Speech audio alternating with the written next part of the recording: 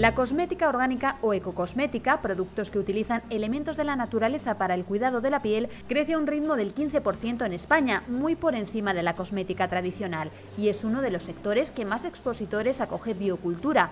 ¿Por qué está de moda lo natural? Porque cuando tú apuestas por lo natural, estás seguro que no contaminas tu cuerpo, estás seguro que no le pones derivados de petróleo, que no le pones tampoco eh, químicos que puedan alterar tu sistema endocrino, tu sistema reproductor, tu sistema neuronal, que eso en la cosmética convencional lo existe y en cantidades muy altas. Y segundo, porque todos los aceites vegetales, todos los aceites provenientes de la naturaleza, el cuerpo los asimila mejor.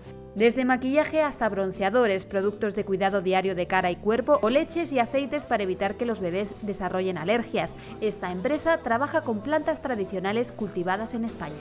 Son formulaciones eh, novedosas y con la última tecnología, pero basadas en la tradición de nuestros ancestros. La feria tampoco se olvida de la tendencia creciente de la cosmética masculina, desde productos de afeitado hasta cremas hidratantes pensadas para ellos.